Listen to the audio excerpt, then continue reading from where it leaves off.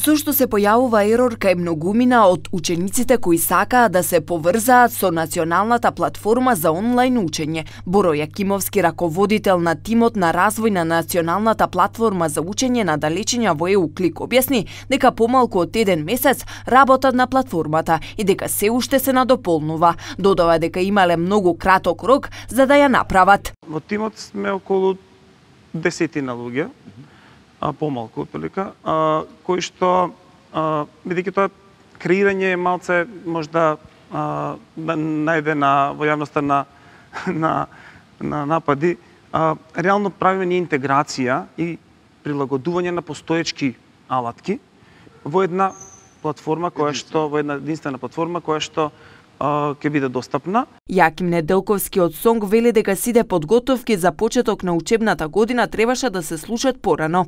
Факт е дека сме соочени со безброј проблеми, проблеми кои што практично никој не ги предвидуваше дека ќе се предизвикаат од пандемијата, меѓутоа факт е тоа дека може би требаше многу порано да се почне со подготовка, може би требаше и системот, односно платформата порано да се донесе, порано обуките да почнат да завршат и така натака и така натака. Поранишниот министер за образование Арбар Адеми во 10 минути на ТВ21 напомена дека и во други земји имало проблеми односно паѓање на системот. Тој појасни дека од УНИЦЕФ имало подготвена платформа за онлайн настава, која за нас беше без пари. И не е оваа што се користи сега edhe nga finki, pra profesorët universitarë të cilët janë këtë fakultet, kemi patur ofertë që ta bëjmë të njëjtë. Edhe sa e poshë edhe kjo ishte cilësore, ishte kualitative, me gjithse rënja e sistemit apo platformës nacionale në vendin tonë nuk është diçka e re në që se marrë me dhe vendet e regionit.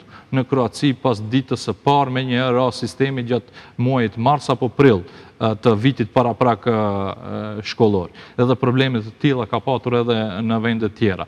Pra edhe kjo që është tani, па се иште se ishte e. И самата министерка Царовска пораша дека нема да биде лесно и дека мора да се носиме сите заедно со проблемите, но свесна е дека овој систем во ова време ќе успее.